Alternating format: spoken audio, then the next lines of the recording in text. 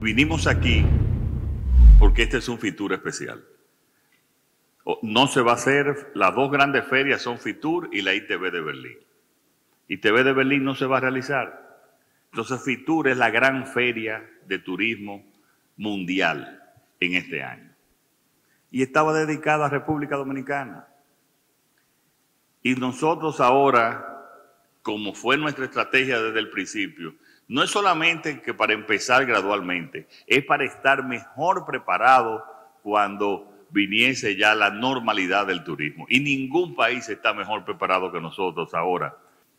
Pero finalmente, para llevar el turismo a niveles que ustedes, quizás los más optimistas no se imaginan, pero que nosotros tenemos datos de proyectos que ustedes, que pueden hacer cambios sustanciales en positivos en el turismo, no solamente tenemos que seguir trabajando en el gabinete de turismo con todo el sector privado, no solamente tenemos que seguir trabajando con las instituciones financieras, sino también tenemos que seguir trabajando toda la sociedad dominicana, porque es responsabilidad de todos seguir impulsando el principal sector económico de la República Dominicana, y todavía llevar más conciencia de, lo que, de lo que es el turismo en nuestro país.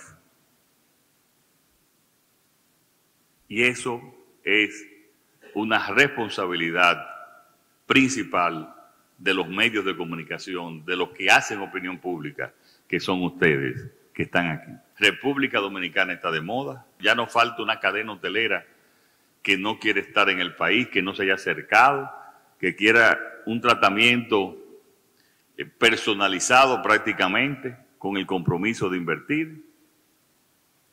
Y también, y eso estoy completamente seguro, que los mejores años, los mejores tiempos, y aquí hago un condicionamiento, si continuamos trabajando como lo hemos hecho en el turismo, están por venir y puede ser la gran locomotora que nos va a llevar al desarrollo social y económico de la República Dominicana. Muchísimas gracias por su apoyo y que Dios los bendiga a todos.